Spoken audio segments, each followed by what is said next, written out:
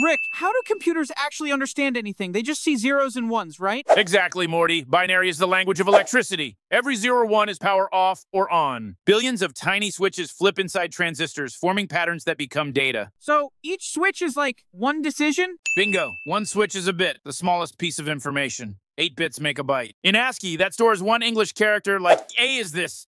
Modern text like emoji can take more bytes, but it's all patterns of zeros and ones. Wait, so that pattern for A always only means A? No, Morty. It's just a pattern. It depends on context. In ASCII, it's A. In math, it's the number 65. In an image, it could be a shade of red. Binary doesn't have meaning on its own. Programs and file formats tell the computer how to read it. So the same bits can mean totally different things? Exactly. Binary is the alphabet of machines. Software is the grammar. Think of it like Morse code, Morty. Patterns stand for letters or numbers. The computer just reads them faster than your brain ever could. Wait, so photos and videos are just switches turning on and off? Exactly. A photo is millions of pixels. Each pixel has red, green, and blue values, one byte each. Stack millions of those numbers and you get an image. And it's not just screens, Morty. Binary can represent anything colors, sound, even 3D worlds and games. It's just numbers pretending to be everything you see. So binary's not just zeros and ones, it's how electricity becomes information. Exactly. Every digital thing you've ever seen is electricity making billions of yes no decisions per second. Comment a word in binary and someone else has to guess it. Let's see who really speaks the language of machines.